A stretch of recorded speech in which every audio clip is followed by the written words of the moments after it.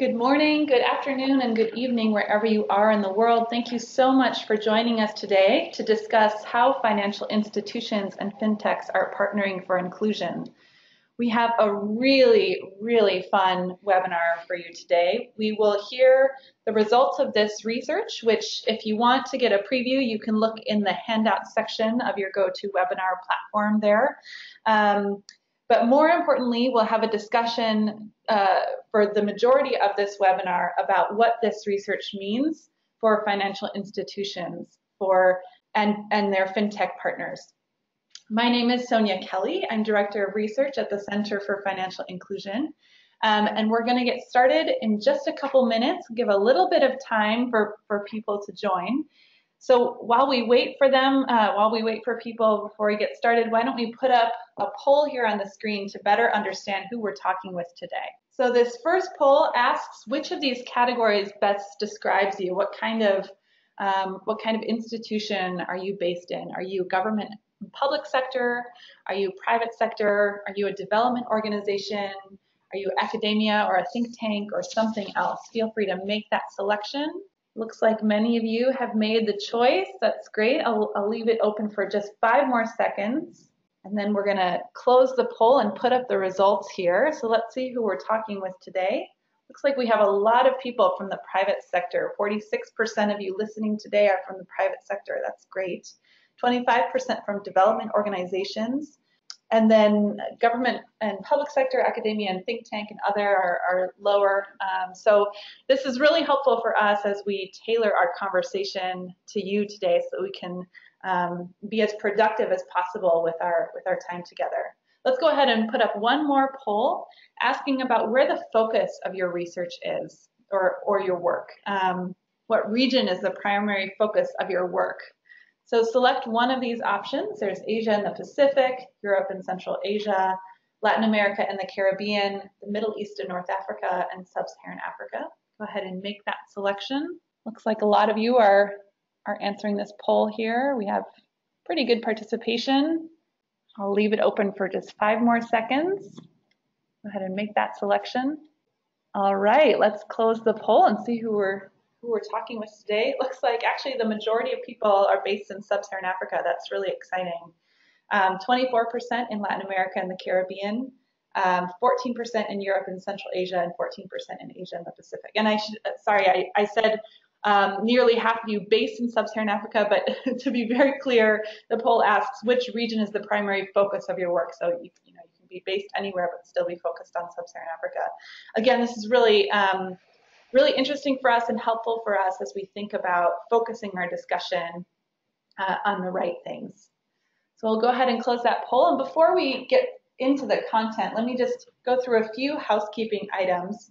First, I want to show you how to actively participate. And we do want this to be an active discussion. We're going to, um, we're going to open up the line to people who are listening um, and if you want us to open the line to you or if you want us to answer a question that you might have anytime during this webinar, feel free to um, do one of two things. You can either raise your hand, and that's that little hand icon that's in the GoTo webinar control panel, or you can type your question out in the questions drop-down menu, um, and we'll be sure to, to have a, start a conversation with you and ask you if you're in a place where you can um, be heard uh, if there's not a lot of background noise or um, or whether you would prefer your question to be answered um, by us just reading it, which is also fine as well. So, uh, so you can go ahead and use that function. Of course, you can also use those functions to reach out to us if you have any problems with your um, your webinar platform, and we're happy to help you address those.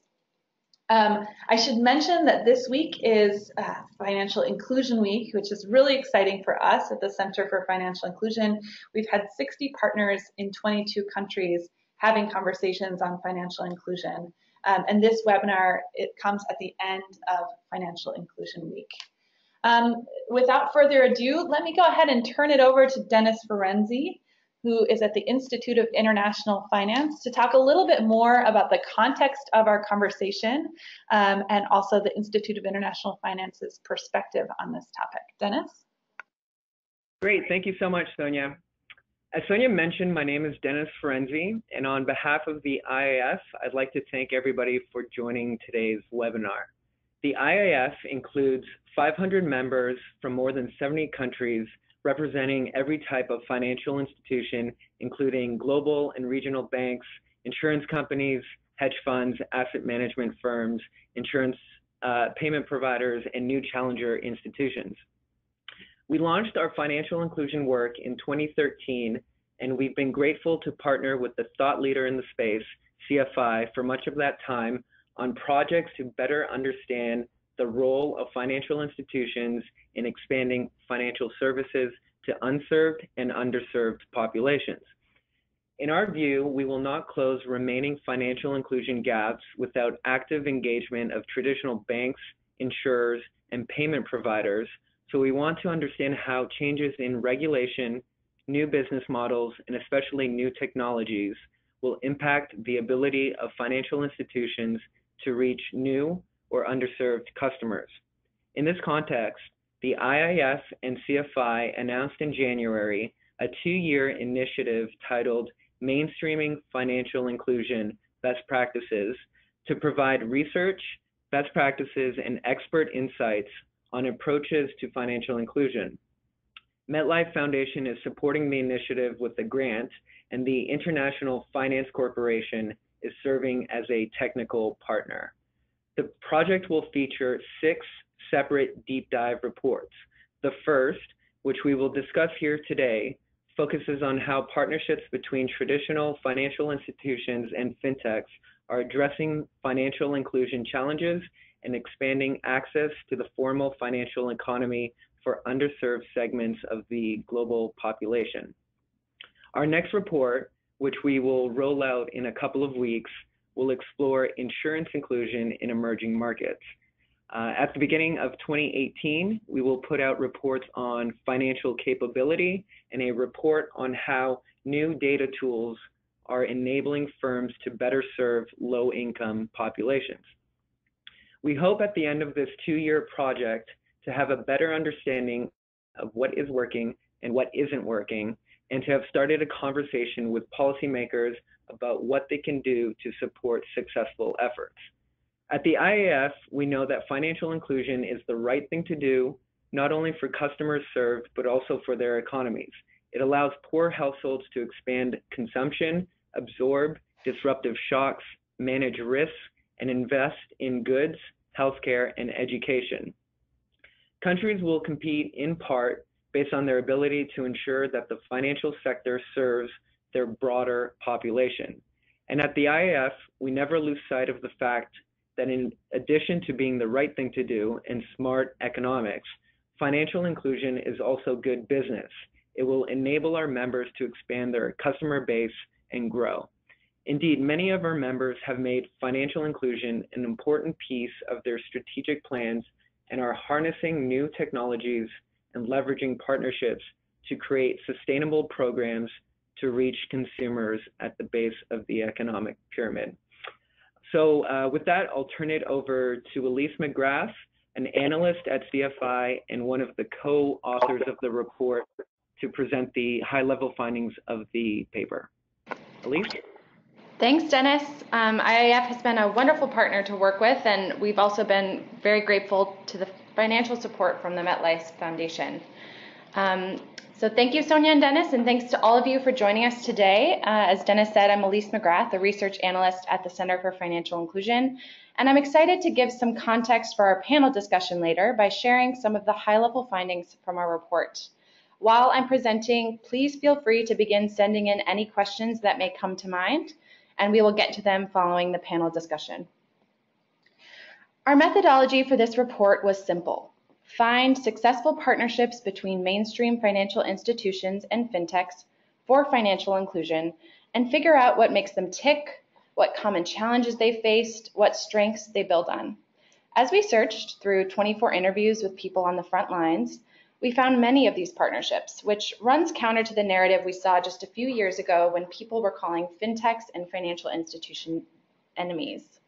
We highlight 14 of these throughout the report, and I'll highlight, highlight a few of these during this presentation.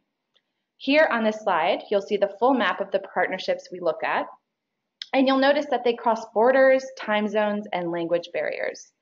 In other words, instead of going to their next door neighbors, financial institutions are canvassing the globe to find partners. I would like to note that our research shouldn't be seen as representative, but rather as aspirational, since we have had the fortunate job of telling the success stories in this report rather than documenting potential failures. Um. Both fintechs and financial institutions have strengths, and together, and together they can be a potent cocktail for disruption. We'll talk a little later about some of the ingredients of this success, but at their best, these partnerships are a win-win-win for financial institutions, fintechs, and for underserved customers. On one hand, we found mainstream financial institutions partnering with fintechs to improve product offerings, increase efficiency, and lower costs. On the other hand, fintechs are partnering with financial institutions to scale their technology and to access capital to grow. That said, mainstream financial institutions are not willing to partner on just anything. There are core systems and processes that they see as sacred that they want to full control over either through acquisition or internal development. You'll see here representatives from Ujjivan and BBVA echoing this sentiment. We often heard from banks, we are not a technology company. They are aware of their strengths and are looking to outsource some of their weaknesses. What we found is that partnerships are uniquely suited to help mainstream banks, insurance companies, and payment companies overcome significant financial inclusion challenges and learn a great deal along the way. The four things on this screen are the primary challenges that we found financial institutions seeking to overcome through partnerships. Gaining access to new market segments, creating new offerings for existing customers, data collection, use, and management, and deepening customer engagement and product usage. I'd like to share an example of what each of these looks like in practice. In Mexico, BBVA is partnering with Chilean-based fintech Destacame to provide credit to customers who have been denied through traditional screening. This is a good example of a financial institution addressing our first challenge with partnership, gaining access to new markets. Destacame provides an alternative credit scoring platform which builds a credit score based on a customer's bill payment history. This has allowed BBVA Bancomer to expand credit to thin file customers especially those making less than $100 per month. In India, ICICI partnered with Silicon Valley based blockchain company Stellar to create a mobile wallet for their customers. This partnership falls under our second financial inclusion challenge creating new offerings for existing customers. Through the partnership, customers in India and living abroad can transfer money through the free mobile wallet. The value add for ICICI's customers enables the expansion of their product offerings and even lets customers transfer money easily to other people who have mobile wallets on the Stellar network. I don't need to remind this crowd that the volume of data available to help institutions make decisions continues to grow. Our third financial inclusion challenge is data collection, use, and management. And I will highlight a partnership between Demyst Data and a major bank in the Philippines. Demyst leverages data to help the institution make better decisions about its customers and also provides a service in which they take and clean up data for easier analysis. And I'm excited to say that we have Lawrence from Demyst Data on the line today, and so we'll get to hear a little bit more about that partnership and the work that Demyst is doing on this specific financial inclusion challenge. Finally, I'll highlight that BBVA Bancomer and Bancolombia are both partnering with Juntos, a Silicon Valley based startup which provides automated SMS conversations enabled by artificial intelligence. This partnership addresses our fourth and final financial inclusion challenge of deepening customer engagement and product usage. Juntos sends tailored text messages to customers, reminding and nudging them to save and become active users of bank services. No matter what challenge they were addressing, all of the financial institutions we talked to were intentional about organizing for innovation. We found that if financial institutions have the right people in place with the right budgets, the partnerships are much more easily sourced. But we found a number of different models of sourcing and managing these partnerships. There were some that came out of an ad hoc interest. For example, the banking executive we talked to at ICICI had just finished reading a book about blockchain in his spare time that mentioned Stellar, so he called him up. On the other hand, Societe Generale, who we talked with, went through a more traditional RFP process, considered multiple fintechs, and ended up choosing TagPay for the mobile wallet they ultimately created. What these have in common is an internal champion. It's not how the partner is found, but who found them.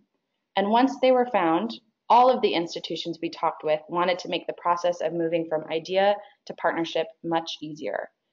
Some institutions created sandboxes, insulating a partnership process from bureau- the bureaucracy, including risk, compliance, and even the board. And in another instance, ING requires that every fintech partnership have a sponsor at the top two levels of the institution. I should contextualize these operations by saying that the process of partnerships is an uneven is uneven with just a few people on the fintech side and an enormous number of people and roles on the financial institution side. If you say that the partnership will take 3 months, fintech is shocked. And on the other hand, the financial institution is shocked for very different reasons. It takes a lot of resources to partner, partner but partnerships are very valued even when they're not guaranteed. When we asked institutions about working together, they nearly all laughed and said that it was twice as hard and twice as long as they expected it to be. Here are two examples of timelines to partnerships that we saw. One on the EFL Global Partnership and one for the MetLife Imaginate Partnership. They take different lengths of time to be solidified, and these examples are wildly different. Some of those techniques for organizing for innovation seem to explain some variation in our sample, but we also saw the kind of product the partnership is driving contributing to the length of time it takes to partner. For example, the partnership shown here between Santander and EFL required a year-long pilot in order to account for a full loan cycle, while the MetLife and Imaginate partnership is more on the customer service side and required a much shorter pilot period. Overall, we heard anecdotal observations from financial institutions and fintechs that the process of partnering is getting easier. Fintechs are learning who to go to for what, having the tools and approvals they need on hand, and financial institutions are finding that they're able to learn from and adapt to new partnership opportunities. We tried to ask about the future of these partnerships that we looked at and obviously did not get solid answers. Most often we heard, we'll continue the partnership as long as it's working. We did hear the financial institutions, regardless of where the partnership goes, want to ensure stability, longevity, and create incentives for the institution. Here are a few examples of how institutions are doing that. Carlos Lopez Moctezuma of BBVA said that when he negotiates terms for a partnership, he always tries to err on the side of generosity, recognizing that he wants the financial institution to continue to be around. MasterCard Labs said that they have a fintech now negotiating with a financial institution that is offering a warrant to the financial institution to buy part of the company in a few years. That incentivizes both partners to work together to grow the fintech. And finally, AXA took a nearly 50% stake in MicroEnsure. And I'll say we nearly did not include them in the report because we looked at them as an investment rather than a partnership. But after speaking with them, we came to understand that investment is the partnership stability strategy in that specific partnership. There are some predictions that the new threat to the traditional banking sector are the institutions that have brand recognition. Apple, Facebook, WeChat, Alipay.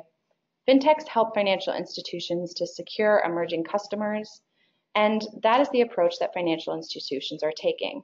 Financial inclusion is not seen as corporate social responsibility, but rather is seen as an integral part of the business. Fintechs help them to get there. And I'll end this part of the presentation by sharing an African proverb that Nina Niwal, who is one of our panelists today, shared during her interview with us. She said, if you want to go faster, go alone. If you want to go far, go together. And I think that kind of summarizes what we heard throughout the interviews and our research in this report. And now I will hand it over to Sonia to begin our panel discussion. Thank you so much, Elise, and I hope that you will all bear with us. We're going to try to turn on our videos here. Great, I hope you can see me and um, John Esri, Nina Niwal, and Laurence Chalude um, are all joining us from different different parts of the U.S. Um, all of them are either a, a, financial institution or a fintech, and we'll, we'll, hear a little bit more about that during our panel discussion.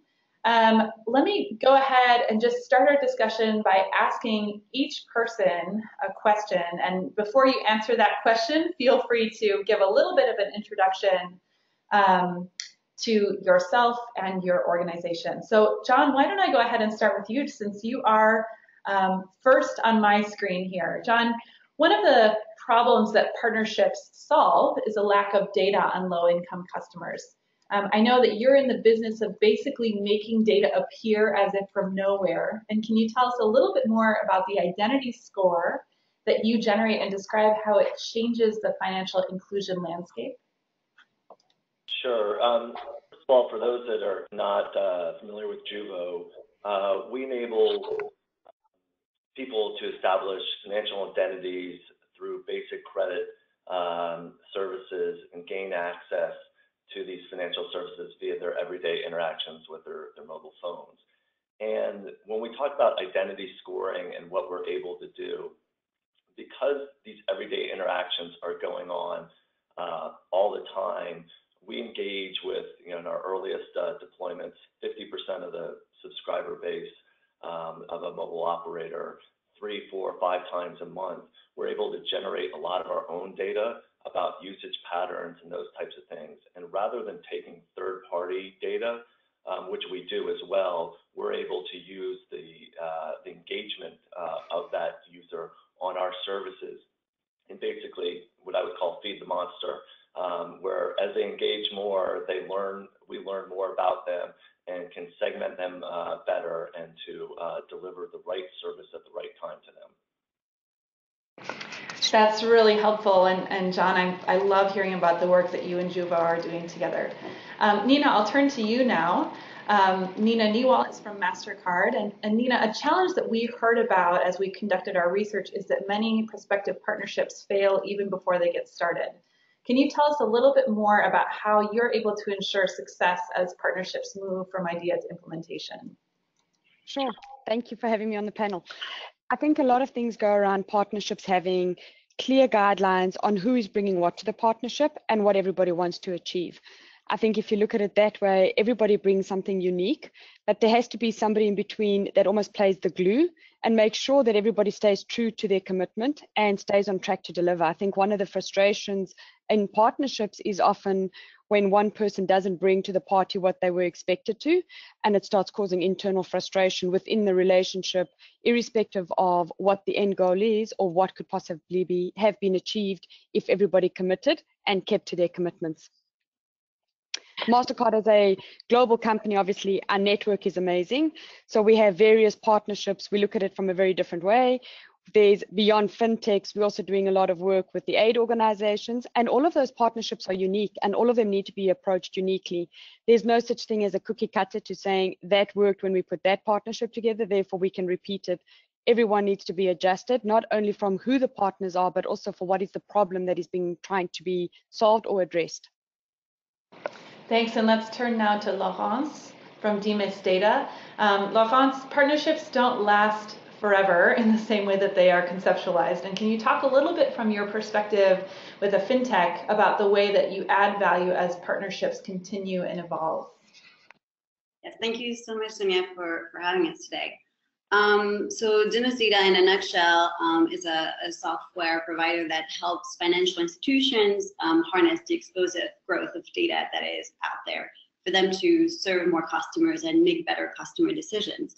And you know, since we focus specifically on facilitating data as access at scale for financial institutions, uh, it's never an issue that is going to be solved 100% once and for all. Um, the data eco ecosystem is constantly evolving, and so we add value by continuously guiding um, our customers in this area.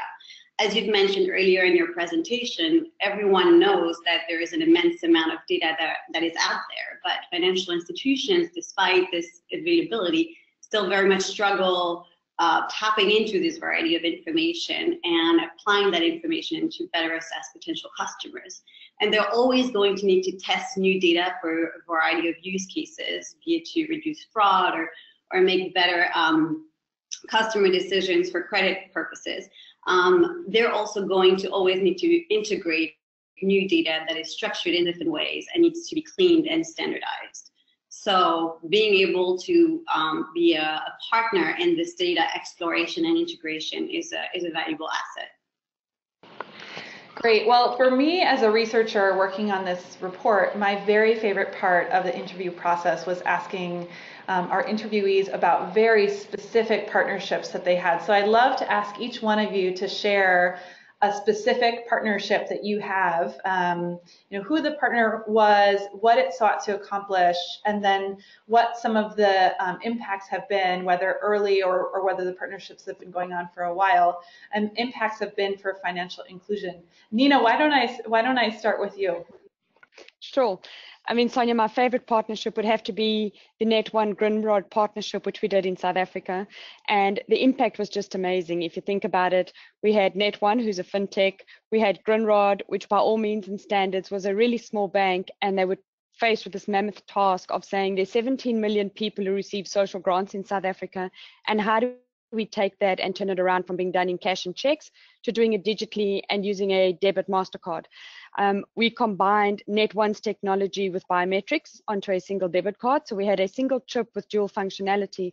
But ultimately, I think where the big surprise came on, having a small bank, how do you reach 17 million people in a really short period of time?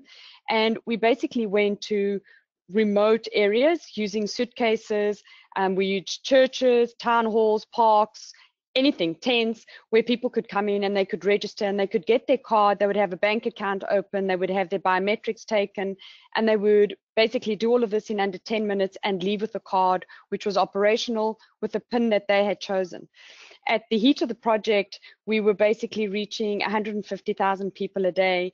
And overall, what that impact did for South Africa as a company was we went from financial inclusion at about a 55% rate all the way up to a 77% rate in just under two years.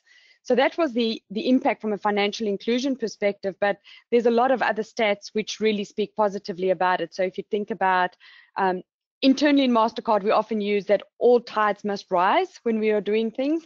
And this is one of those programs. So if I start at the top of the pyramid and I go, what did it mean for government? I need to speak about the cost savings that it brought to them. So by moving away from cash and checks, which was costing them about $3.66 per disbursement, going digitally, that dropped all the way down to about $1.60. It also allowed for them to do multiple grant disbursements onto a single card. So for an example, if I was an old age pensioner receiving my old age grant, but I also took care of three of my grandchildren and they were receiving child support grants in the previous system, if it was cash and checks, government would have been paying $3.66 by four or times four. If you looked at the new system with the card, they were only paying the, the $1.60 once. And due to that, the price coming down and the multiple grants being paid onto a single card, we managed to save government in the region of about $375 million over a five year period. So that was the one saving. Um, because the card had biometric functionality, we were also able to eradicate about 850,000 illegal grant collectors. And that goes anything from where people had registered children multiple times, or where we had people who had registered themselves multiple times and they were collecting multiple grants, or people that had passed away and families still continue to collect their grants, which is another huge saving of about $350 million.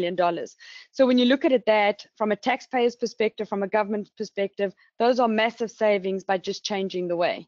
Um, and then if we look at the actual grant recipients, what did it mean to them?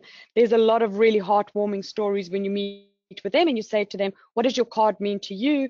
And you hear people giving responses like, I feel as if I belong. I feel as if I'm somebody. You know you've done the right thing. You also know you've done the right thing when people go, I feel safe for carrying my card and going shopping versus when I was carrying huge amounts of cash. And everybody knew I had cash when I was leaving the, the cash points at the end of or the beginning of each month.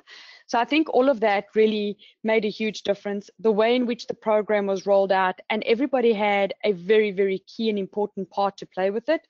It was also great to hear about, from a government perspective, where they often spoke about being involved with a company like MasterCard and Net1, where they could get immediate data, gave them things like instant intelligence. So they knew where people were using their cards. They were also able to make decisions based on that. So really early on in the program, we realized people were going across to some of the, the bordering countries and using their cards there. So we were able to pull back and saying these cards are only going to be used for domestic use. It's government funds. Those funds should be used within the country. So that would have to be one of my favorite partnerships of just how well things can work when things get tweaked, how all boats rise with the tide which comes up, um, and just by doing things differently, which had not been done previously. Wow, a lot of different, com- not competing interests, but a lot of different interests at, on the table here with this partnership. And um, and it sounds like you you really were able to to meet a lot of those different interests, including the customers' interest in in being recognized and feeling like they have and identity. I think that's that's really special. Um, let me just remind everybody we've had a few questions come in, and I just want to remind you you can um, you can press the little hand icon that's in your control panel, or you can um, submit a question in the in the questions box there, um, and, and we'll be sure to get to them in our discussion. Let me turn to Laurence now. Um, Laurence, uh, can you give us an example of a very concrete partnership that Demyst Data has? Yeah, I think the, the partnership that we discuss in this report in this report is particularly relevant to this conversation.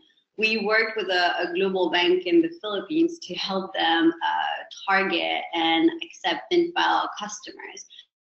Um, as you clearly explained at the beginning, um, a lot of people still don't have a credit history, which makes it very complicated for large financial institutions to service them um, and provide credit products and, and personal loans. And uh, this this case study was a very good example of how by leveraging alternative types of data in a country that has a very new uh, credit bureau infrastructure with limited credit profile, how by uh, leveraging alternative data, you could really boost the number of, of thin file customers who would go from being rejected to becoming accepted customers. And we managed to show how nearly 50% of their monthly rechecks could actually be accepted if they were to use different types of, of data, such as geolocation data, phone databases, um, et cetera, et cetera. So that was that was a significant um, achievement and a significant example to show.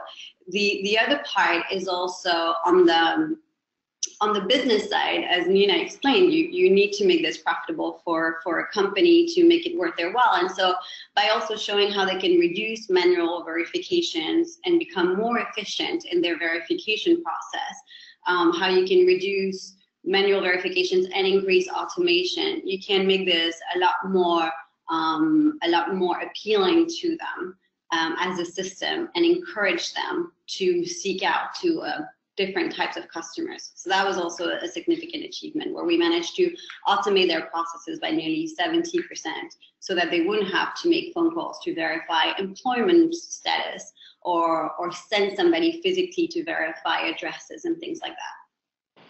That's great, and that number of increasing um, acceptance rates by 50% is is really amazing. Congratulations on that success. John, let me turn to you now and ask about a specific partnership example that you can give us from Juvo's experience. Yeah, I look at um, our partnership uh, with uh, Cable and Wireless. You know, the one things we look at when it comes to financial inclusion is the very first step is financial access. And getting enough people engaged and, and, and using the system changes a lot of things. And in our partnership with Cable and Wireless, we made a, a, very conscientious decision early on with Cable and Wireless that we are going to charge um, for their uh, telecom service uh, credit extensions no uh, no fees and no interest. And in doing so, we were able to engage you know a large population of their subscriber base and learn about them so that we could create the data so that we could then layer on additional financial services and in doing so, some you know interesting things happened, and I'll go specifically to um, they had some hurricanes uh, recently in the last few months that uh, devastated some of the uh, the islands down there. And for those of you that don't live in hurricane areas, the first thing that happens when a hurricane comes is the ATMs run out of cash, and the the next thing is all the stores close up. And when you're in a situation like that you know, you want to uh, relay to your family that um, uh, you're safe um, as the hurricane is coming. during the hurricane and after the hurricane. And with Cable and Wireless, we were able to uh, you know, reach a large portion of their population and offer these, you know, the ability for the people that didn't have balances on their phone to continue to stay in touch with the people and their loved ones throughout the process. And through the data, we were actually able to track the hurricane um, through the data and see exactly when it was hitting each island because we saw these huge spikes in usage um, of our services as people were preparing and living through those hurricanes. And it wasn't something that we were trying to do. It wasn't something that, you know, as I said, was no interest, no fees. We weren't trying to take advantage of the situation. And it really felt good that, you know, Cable and Wireless, ourselves, and the subscribers that we were able to offer a service to them um, that was beneficial to them uh, at their time of need. And, um, you know, that was, you know, I think my, my, it, tugs at my heartstrings that we were able to do that for them when people were at, you know, some really uh, tough times. Yeah, a very relevant example for today as well. Let's go ahead and open up the phone lines. I'd love to, um, to hear from Gerhard Coetzee, who is joining us from CGAP, the consultative group to assist the poor. Gerard, are you on? Uh, can you hear me? Yes, we can hear you just fine. Go ahead. Very good. Um, good morning, uh, Sonja and panel. I've got two um, uh, quick questions. The first question is, it seems to me that if I have to read a book and may, maybe find the right fintech partner, and I may read the wrong book, uh, that's sort of hit and miss. Isn't there a better way to find uh, fintech partners through using, for example, uh, open API marketplaces, things like that? Uh, so just observations about that. And then the, my second question is hypothetical sort of consideration. I'm very worried about um, in these partnerships what happens to the customer's data. Who protects the customer? Who look after them? Say, say we have this uh, uh, possibility of somebody taking that data uh, of a grant recipient and selling them payday loans afterwards. How do you protect the customer and your own reputation against that? Great questions. I'm going to bounce that question on finding partners to Nina. I'm sure there are definitely more strategic ways to find partners than reading a book on your holiday. Um, so Nina, I'll ask you that one, and then John and Laurence, whichever one of you after Nina speaks wants to address the question of who owns and protects the customer data. I'm sure that's something you deal with all the time when you talk with your partners. Sure. Thanks, Carol, for the question. I think there's always a when you're looking for a partner, I think it just it goes beyond just the functionality that they can bring to the partnership, but there also needs to be a meeting of minds and personalities. I think if you look through the report that was even published and you speak to multiple people and they go, why was a partnership working and suddenly it stopped working? You often find that somebody either stepped out of the partnership from a relationship perspective or there was a change in roles and suddenly people just didn't understand each other anymore. I often go, being a relationship manager is more being um, a translator in understanding where everybody's coming from and understanding one person raising their voice might not mean they're angry. It might be a cultural thing versus the next person, if they raise their voice, is a really serious thing. I know we say that in light and in jest, but it all goes around about the cultures. Are there similar cultures within each company who's coming into the partnership? And often the partnerships are, there's more than just two parties involved in it. And it's often two companies behind the people that are behind it as well. So for example, if you think about it, if you've got different views on the laws of a specific country, it's never ever going to work. If you've got different drivers for why you want the partnership to work, and the one is in it purely for financial gain versus the other one being in it for more of a CSR initiative, you're also going to find challenges there. So I think it's there's various things that need to happen what I do say about partnerships is often through networking, people can introduce you to like minded people. I always go, you find people who view the world in the same way, often connect at the same type of events. They often understand what developments are being done by which parties. And when you're working in, in those circles of people, you're often able to get the connection to saying that would probably be an ideal partner for what you're trying to do versus trying to source them on your own. Yeah, the importance of, of like-mindedness and shared goals. I'd love to get Gerhard back on the line if you if you don't mind before we turn to his other question.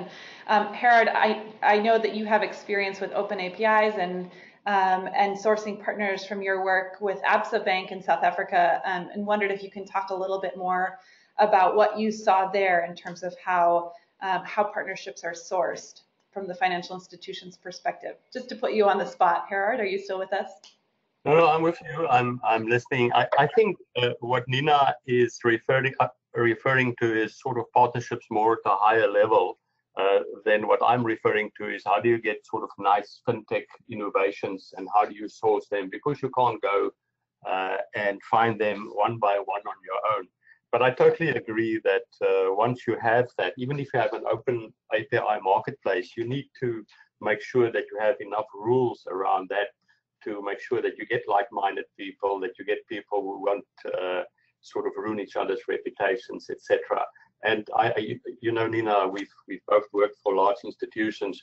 There are so many compliance officers standing around you to look at the controls around this, and that's the kind of thing that they uh, that you built into the rules around that over and above what you are referring, which is a more sort of uh, empathetic, aesthetic sort of alignment, yep. if you if you want to call it that. Uh, our, our, our, experience, not necessarily with Absa, but just what we saw with a couple of these cases is that um, it takes a long time before a very large institution gets to an open API marketplace. They go to through phases where they first work with partners they know, then they go to the next level with sort of medium sized, and then they will open it up. So that's basically what we see at this stage. Yeah, it seems like it's an exciting time in this space with open APIs put forward by institutions themselves, but also mass APIs um, like FinConecta in Latin America and FinForward in Sub-Saharan Africa and other other innovations there. I when we first presented this research um, to a smaller group of people, somebody raised their hand and said, "I think we need a Tinder for partnerships," which I thought was a really funny, uh, funny expression. So let's turn to that other that other question: Who owns and protects the customer data? Like, how does that work? Um, and Laurence and, and John, I, I, would love to hear your perspectives on this, working with a lot of data. Yeah, from our perspective, you know, to echo Nina's point is, you know, a partnership only works if, you know, you're both in it together and hitting minimum, you know, data encryption requirements or, you know, security requirements isn't going to work. You know, you've got to go above and beyond um, protecting the the core assets, whether it's the financial institutions or the mobile operators or you know what have you, um, to make sure that they're comfortable. Uh, I can't tell you the number of lawyers and security scans and things that we go through on a weekly basis um, to make sure that's happening. Um, so you, you, you've got to bring it to the most advanced, highest level, regardless of what country you're going into. In a lot of cases, the EU's leading the charge. Um, and that kind of, you know, sets the bar for uh, the rest of the world. And so, you know, we tend to uh, make sure that we're, we're above that bar um, from a data rights perspective, or I'm sorry, a data privacy perspective. From a data rights perspective, I think it's a much more complicated question um, because the user has rights to some of their own information. The financial institutions have, you know, rights to some of their information. The the data that is created, you know, during the process is new data that, you know, has multiple parties that have rights to it. So we could spend an entire seminar on, on data rights and how, how best to do that. But needless to say, people need to be open-minded because you can't deliver um, the services without sharing that data and that information uh, to be able to deliver the right service to the right uh, person. So I, I'd kind of close with that comment. Yeah, adding on to um, what John um, just said, um, obviously data privacy is an issue that we deal with on a, on a daily basis. And because we work all over the globe, it's really interesting to see how different geographies deal differently when it comes to data privacy. So while the US is a lot more lenient when it comes to, to that issue, as John mentioned, the, Euro the, the European Union and, and Europe generally is a lot more strict um, there are key issues with regards to consent and sharing data across border um, and how that's more heavily regulated. Um, similarly, in, in Asia, there are increasing regulations and an attempt at generating regional frameworks for when it comes to sharing customer data. So it really depends where you are operating um, and, the in the landscape of, of, a given geography. But just like John mentioned, um, we believe that we should adhere to the strictest standards um, that are established by Europe and uh, and follow those uh, those higher guidelines. Um, and generally, also, we very much advocate to in to create systems where the individual has a greater role and power and voice in how his or her data is being shared.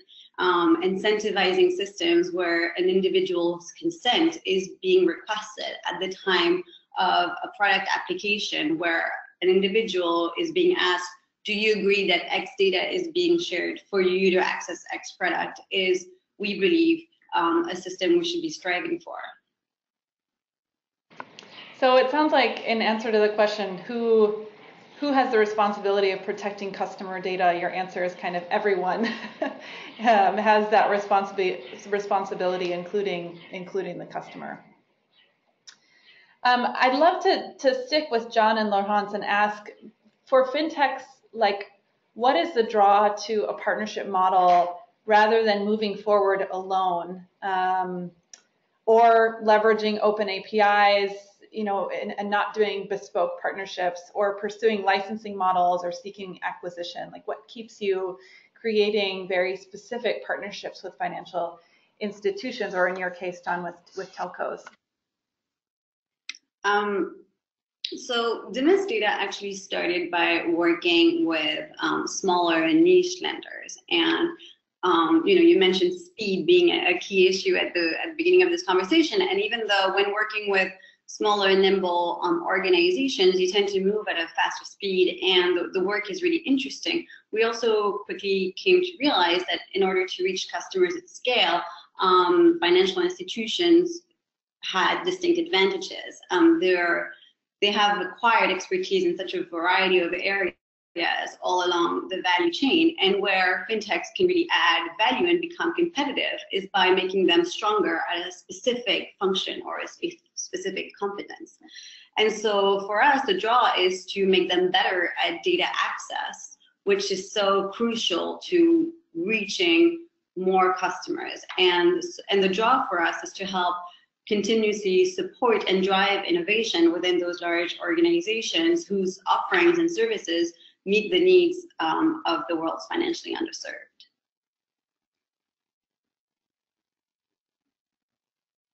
We lost you, Sonja. I think you're on mute. Oh, I was on mute. How about you, John? Um, why don't you Why don't you go it alone? Why do you choose to pursue your work through partnerships?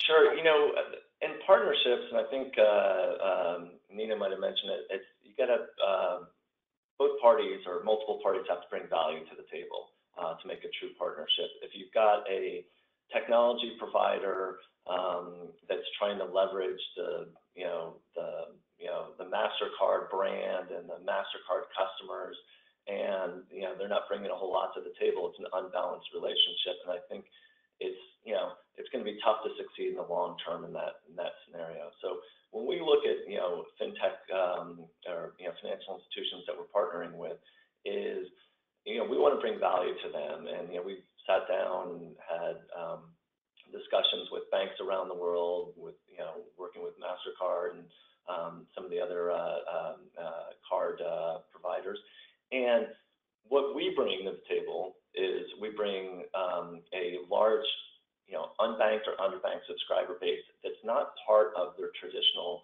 banking network. And I'll use the Philippines as an example. You've got, you know, I think it's 2,000 islands in the Philippines.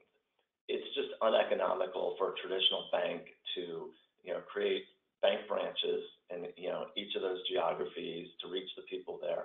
It's also, it doesn't scale in terms of the people, you know, reaching out there. So, you know, if you can capture those individuals in a, a way and identify them and bring them to a partnership, um, then, you know, for the likes of MasterCard becomes very interesting. And, and Nina, I don't know what your, uh, um, your target population is, but I've got to imagine it's the top, you know, one and a half to two billion people in the world. Um, and it's not because they don't want to reach the rest of them, it's because they don't necessarily have access or the information, which might be, you know, the credit score or, you know, some sort of scoring system to be able to segment those people. And so if you can bring, if a technology provider can bring, you know, those people and identifying information to the likes of MasterCard, then it's hugely valuable. And to the people that bring that information to MasterCard, it's valuable to now leverage the MasterCard capabilities and the brand. So, you know, you, you can use that scenario across banks, you know, credit cards, um, you know, uh, insurance, microinsurance, AXA, and just, you know, keep, uh, keep going down the road on all the different financial products uh, that you can offer to these unbanked and underbanked people. Nina, same question, but different perspective. Why do you choose to work through partnerships rather than um, develop things internally? I mean, I think there's a lot of development that we do do internally, but even when we do develop internally, we often share that with our partners. Whether you want to see banks as our partners, um, or program managers, or other partners, we do share what we develop. It's never just for us to use solely. And in many cases, we can just go so much faster and so much further with regards to winning partnerships. Um, at the current rate, we're saying it'll probably take another 200 years before we financially include everybody, and that's just too long. And the only way we're ever going to do this and make a meaningful difference is through partnerships. And it's not a question, how can we speak about financial inclusion and inclusive growth, yet try and keep it exclusive to only a few to participate? That's never going to work. It's only through partnerships that everybody's going to benefit and that we're actually going to get to a state of inclusion, which brings everybody to a better place um, and gives us to a position where poverty might get something, be something of the past. So that's why we're doing it. Um, and it needs to be sustainable, which often brings up the whole CSR initiative. And that's not what it is. And for things to be sustainable, you need more than one person just driving it. Great. We've had another question come in here about the time it takes to partner. um, and, and my understanding is that this has been improving over time to go from idea to full partnership. But um, can you talk, Nina, a little bit of, about um, about how you are addressing the the challenge of the time it takes to partner? Sure. I mean, I think it also depends on what type of partnership you're trying to build. And is it a question of when do you first meet? And I want to use the word suss each other out to know this is a real partnership. Or once you've agreed that you're going to be partners, and how long does it take you then to deliver and actually make impact?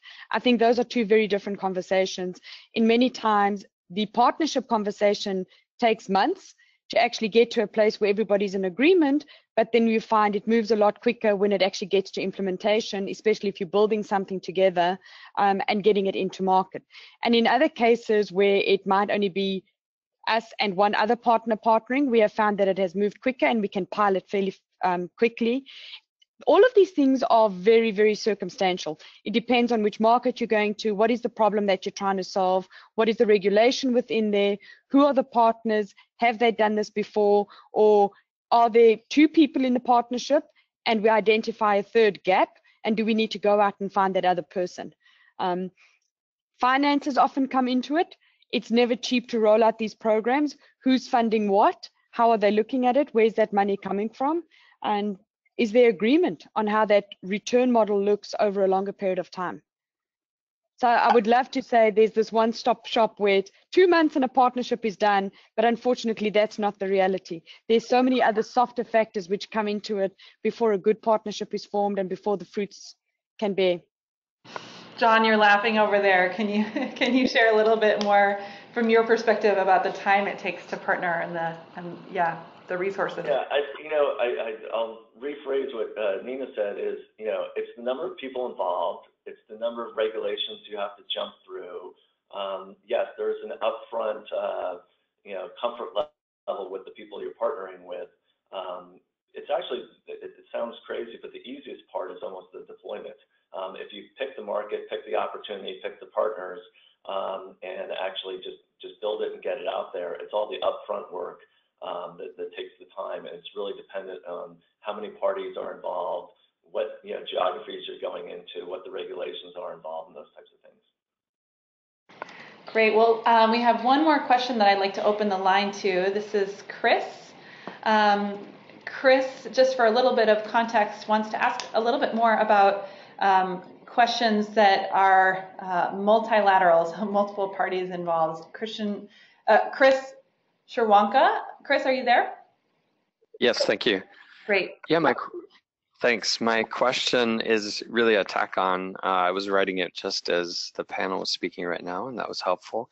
Um, but it had to do with, uh, you know, coming from a fintech perspective, how to inject and get um, uh, join some of these multilateral partnerships when, uh, as you've talked about a little bit, they seem to often have many stakeholders and be kicking off initiatives that go for multiple years. So as a small fintech, trying to find when the genesis of the, those partnerships are happening and at what forum we can present ourselves uh, and our value proposition. Is there, is there best practice for, for doing that um, or some good ideas? And Furthermore, if you hear about one of these multilateral partnerships, is there a way to get involved midstream, even if sort of funding and the um, you know the partnership uh, collaborative arrangement has been made uh, a bit further in advance?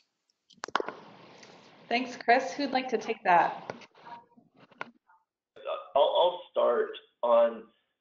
You know, I, I think to to get something off the ground, and I'd be interested in hearing the other panelists um, how they answer this. But we always look at what's the minimum uh, viable product to get off the ground. Like everybody wants to do a lot of very interesting, very powerful things, but in order to get through the the multiple you know parties involved and the, things I raised uh, as I answered the last question is what's the, the basic level you know value proposition that you're trying to solve and get that you know, off the ground and in market before you start adding on the, all the bells and whistles. And that's how we attack it is, is making it simple, easy to use, and a clear value proposition to the, you know, the end user that you're trying to reach. If you can do all that, then, you know, a lot of the surrounding um, things are just a noise at the beginning and you try and block them out um, to, to get into market as quickly as possible. Um, and then, Chris, I think the other part of your question was getting involved midstream, and and my understanding from Nina's example is that um, you know it might be sometimes that there's a bilateral partnership um, that realizes that they need some other technical expertise or um, a, a, missing piece of the puzzle, and, the, and then a third party would be added. Is that accurate, Nina? Absolutely. I mean, we've seen that happening because projects evolve. They start off with one thing, and as they start doing pilots or testing, they realize there's something else which would either make it better um, or make the user experience so much better. And then they're going, instead of us trying to build, which would take time, let us rather go and find a partner who already has the capabilities and let's bring them in. So seen that happening. Chris, on a different note, um, MasterCard has an initiative called StartPath, which I recommend you look into. It's one of the initiatives that we've got where we introduce fintechs to other partners, and we often find partners who come to our Pathfind or StartPath to find people who are startups and who have got the capabilities that they're looking for. So once you start mixing and networking in those circles, you'll probably find a lot more opportunities will come to you in the earlier stages versus midway, um, or never being quite sure which conversations are taking place that you've just not been involved in. That's great. We're nearly out of time, so I'd like to ask one final question as the, as the moderator prerogative, um, rapid fire down the line, so very short answers. If you had $5 million to invest in a fintech startup or a certain kind of technology whose primary success model would be to partner with financial institutions, mm-hmm where would you invest your funds? And John and Laurence, you cannot choose your own company. So let's start with Laurence. Laurence, where would you invest your funds? I think um, obviously us, but beyond that, I think um, technologies that advance cash economies, and not, I'm not just saying that because MasterCard is also on the panel with Nina, but um, I think there's such a dramatic need to digitize a lot of this to create financial transactions that can then, and like financial histories that can then translate into credit decisions. That would be my Nina? Um, I would definitely have to invest in open APIs and data security. That's where I would be going. Great. And John? Yeah, I, I'd say data, um, data aggregation or data creation uh, type companies where you can uh, you, you, can attack the subscriber base you're going after through you know, the company that has, has pulled the necessary information together. Wonderful. Well, if any of those things take off, everybody will know who to talk to about them. Thank you so much, John, Nina, and Laurence. Thank you to IIF. Thank you to MetLife for funding this research, and um, thank you all of us who are joining us as part of Financial Inclusion Week. For more information, you can download the report from the handout section or visit our website where you can download the paper, read a short summary, or share the research. We put a, a shortened link there on the slide. It's bit.ly, bit.ly forward slash partnering fintechs. Thanks everybody and looking forward to you joining us for our next webinar.